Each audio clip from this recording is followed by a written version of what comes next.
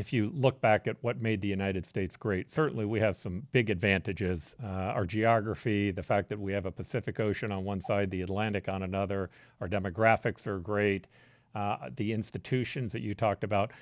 But the single greatest thing that I think that our government ever did was empower the individual over itself.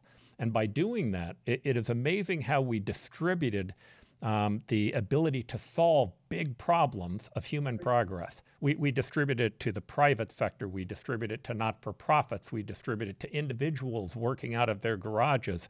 And that has, in fact, created the greatest period in our entire history where we've moved human progress forward.